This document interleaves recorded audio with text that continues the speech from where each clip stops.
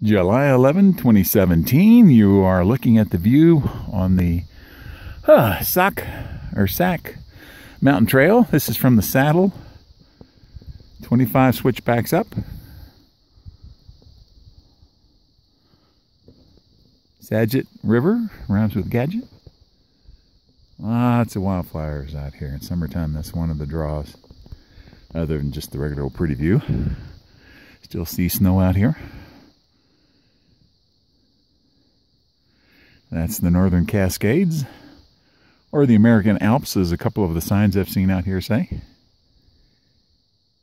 And that's the uh, Sauk Suiattle Reservation out there. Or something sounds sort of like Seattle, not exactly Seattle. Travels with Phil, Sauk Mountain, Sauk Trail. Back to you.